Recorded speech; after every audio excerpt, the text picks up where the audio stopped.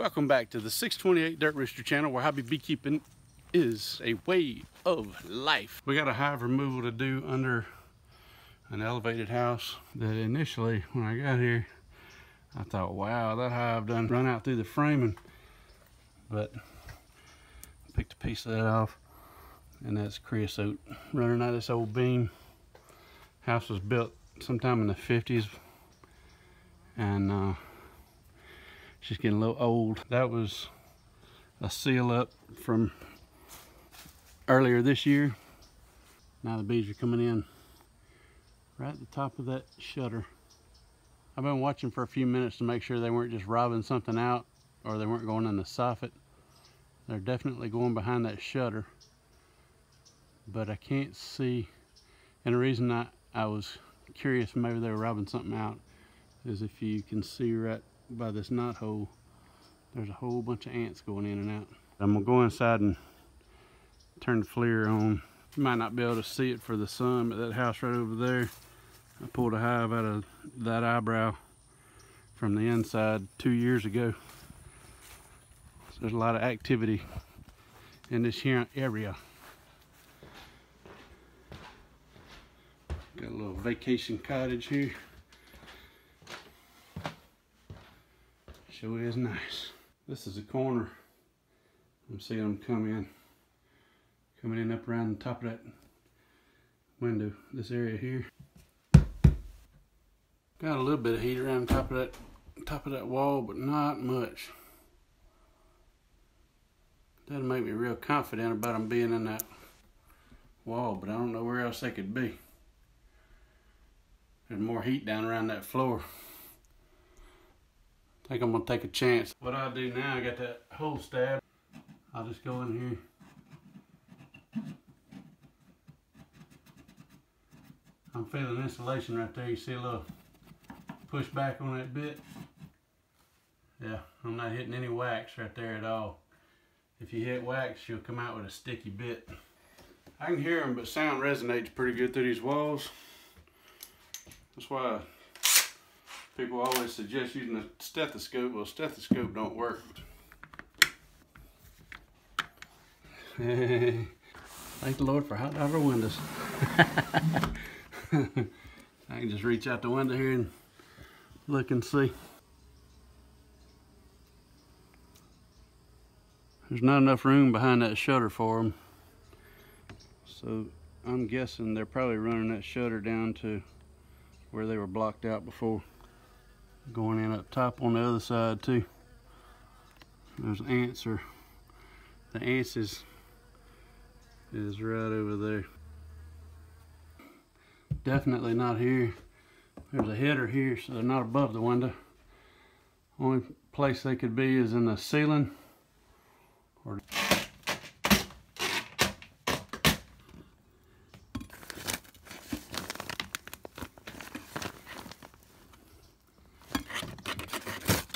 But floor. Oh, there it is. There they are. Let me get you up in there where you can see that.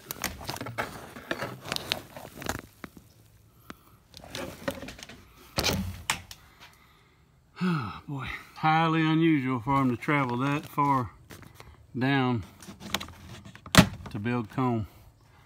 I'm gonna pull this soffit back two pieces, I guess. That way I can pull this insulation down and have room to work. Yeah, there's the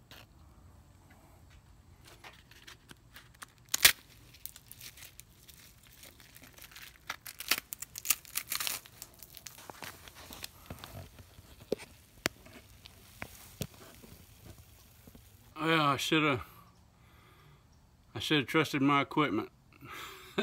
it showed me it's showing me heat in the floor. I should I should have understood there's heat in the floor, even though I couldn't see from up there.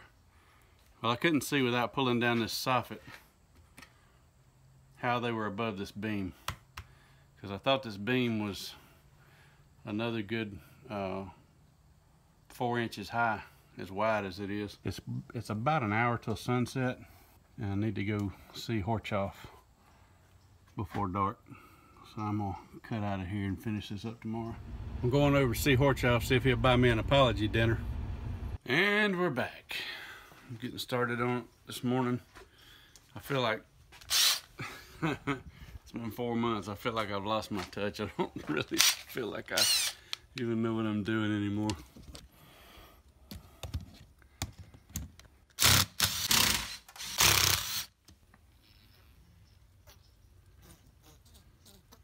Want to get my frames ready for them. Well, I've got some old drawn frames. Sides like this where it's pretty evenly drawn and it's on the foundation. I want to leave that. These have been through the freezer. Sides like this where they're up off the foundation. I want to get rid of all that.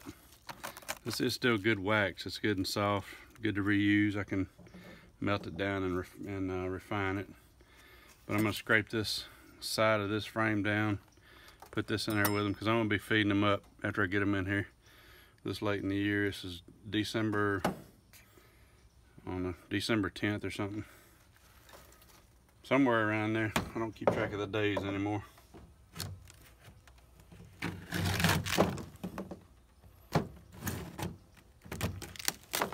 And that scrape down, it's got a little bit of wax left for them. They'll they'll do something with it, whether they build off of it or move it, they'll do something with it. And then I'll take all this, just wad it up, save it for later, put it in my melter. That still had honey in it.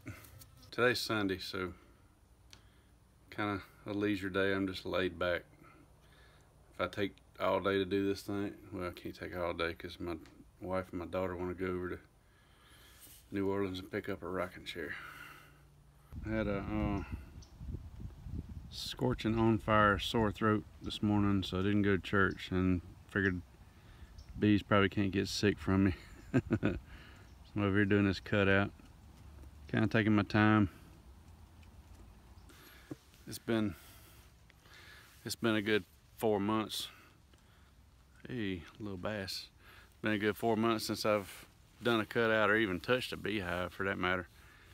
So I was kind of questioning myself yesterday when I started putting tools together. I was like, man, I don't, I don't even know what to take. It took me about an hour to put everything together and figure out. I was pretty confident with what I had, and then as I when I came over here and started on, I was like, man, it's almost like your first one. But then as soon as I cut into it and grabbed it comb, and it's like it's all coming back. It's kind of like riding a bike. So I'm trying to, I'm kind of taking my time relaxing today, watching the fish. Every once in a while a boat will come by. It's nice out here today, 68 degrees, pretty sunny day.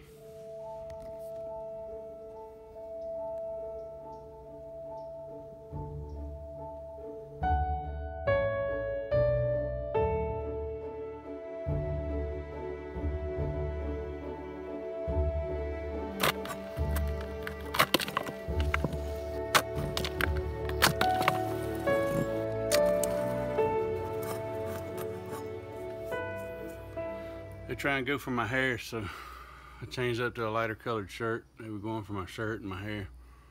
Put a hat on my head. Had to find my queen cage. Queen clip too. It was in a bucket of rusty tools. She won't care though.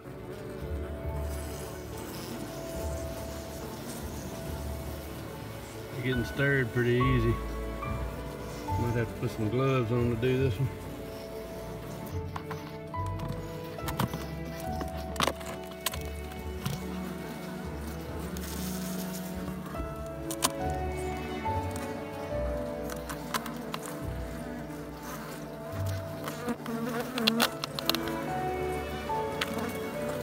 Alright, that wasn't working.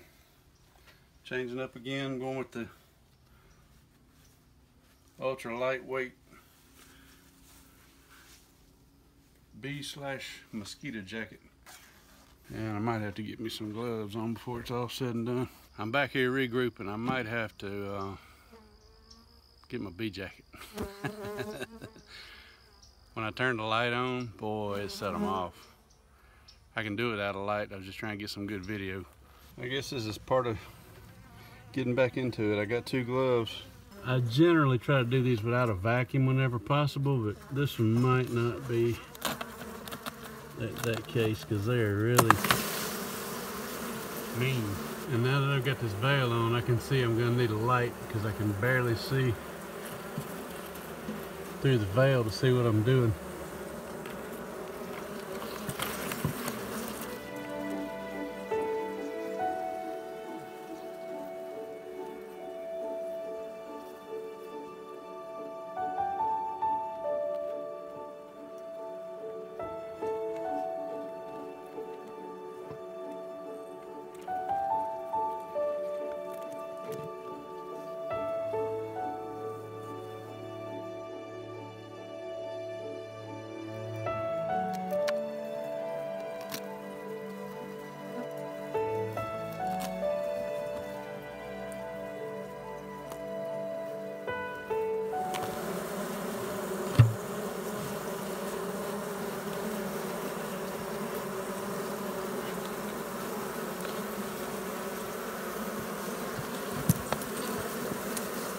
Are whooping my tail.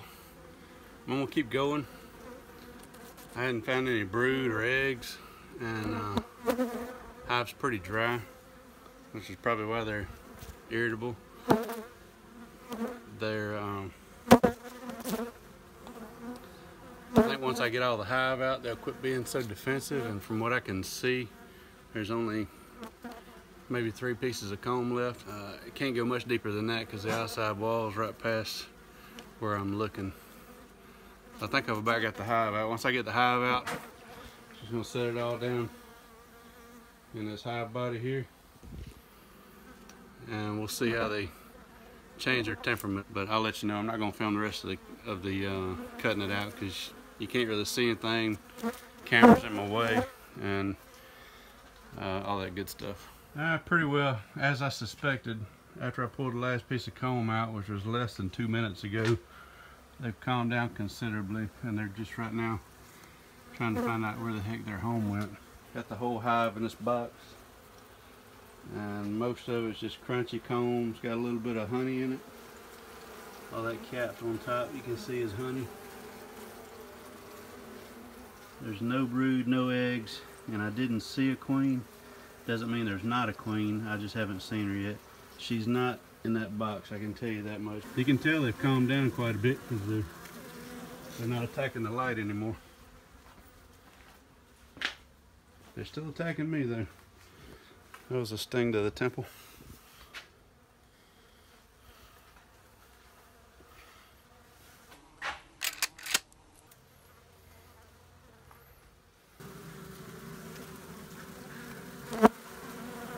Now the light is still setting them off a little bit, but they have calmed down considerably since I put them in, since I put the hive in that hive body. They're not attacking me so bad anymore. So I'm at a standstill right now. There's nothing else that I can do except for frame up that comb, which I'm fixing to do real quick. But that whole uh, shutter area up that front wall, all the way to almost to the top plate, has got bees in it where they ran to hide whenever I start cracking that, when I started uh, hitting that comb and it was making all that that they hate so bad. Anytime something like that is disturbing the hive, they hide the queen. So she's no doubt, if there is a queen in there, no doubt she's up behind that shutter on the front wall. So my wife and my daughter will be here in a few minutes to go get that rocking chair. About a two hour round trip from here to New Orleans. And uh, when I come back, all the bees that are in that wall will be back in the in the location of the hive. And I can just turn the vac on and suck them all up. Be gone, my friend. Well, we just took a two and a half hour break to go get a chair from Louisiana because it was such a sweet deal. Was it a sweet deal? Depends on um, how much she likes it. It's not a glider. Now we're headed back so I can finish my bee removal. And then this is is this the road? Yes. Shawnee? And then we have to do YouTube videos for schoolwork. I never thought I'd be doing YouTube for schoolwork. You never thought you'd be doing schoolwork. I know. I never have done schoolwork. I just skated by. No, Somehow. I did it. You did all my work for me. So theoretically, I, w- I should have three degrees by the time we get done with this. You should have. Pretty smart. Pretty swift. I would say you're the one that's smart. You got me to do it. I didn't, I didn't get you to do nothing. You volunteered. Well, it come back to a whole lot of activity. Possibly a robin frenzy. Mm, I know, let's, let's see how they act on a, this is just a old piece that I pulled out of a frame. Destroyed the frame getting it out, so it's frame and the comb's useless. Yeah, they're not moving in, they're just robbing it. We got an hour till sunset. And looks like most of them are in there. Yeah, taking that hive out pretty well took the fight out of them. As soon as I say that, they're gonna come buzz my mouth. They're not being aggressive at all right now. They're just concentrating on robbing that box out. So I am gonna have to wait on dark. And they should all be piled up in that corner come dark. had to do a little self-assessment. Everybody wants a sting count on these things. I had to kind of figure out how many times I've been stung and where. So I took one in the temple here, one in the hairline over here somewhere, uh, about four on each forearm, a couple on some fingers, and three in my right bicep and right shoulder. So counted up. I don't know how many that is. Took, probably would have took another couple dozen, but uh, you get pretty quick when they, I don't know what it is about black hair. It's not the whole, they think it's a bear thing. But uh, when they get in your hair, they just crawl in and try to go to your scalp. So if you're not quick, you get hit in the scalp, and that doesn't feel good. I'm pretty quick about grabbing them, wadding them up in my fingers and throwing them on the ground. So I probably probably killed about a dozen or two that would have got me if I wasn't so quick on the draw. I mean, it's like Bruce Lee style. This is almost too relaxing out here. Sitting here on the river watching the sunset.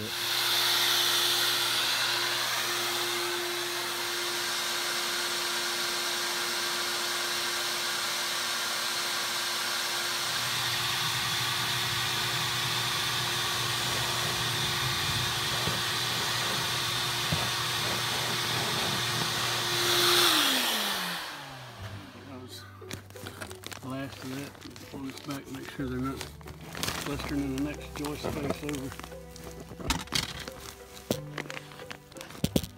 And of course, a them in there. So that diagonal space in that sheathing board behind the siding, that crosses the floor joist at every joist it looks like. Normally I would try to seal this up from the inside, but because that crosses floor joist at each joist, they can come in anywhere on the outside of this house. And because of the siding style, I mean, they, they can come in over here, walk just an opening here and come across or start anywhere in this floor space. So only way really to seal this one up is from the outside. Um, I'd have to pull siding to do it or spot uh, spot fill it like he's doing there and that'll take care of them at least until swarm season. Hopefully he doesn't get another one. I know the uh, that house over there we pulled out been I think it's been three years ago. They haven't gotten another one since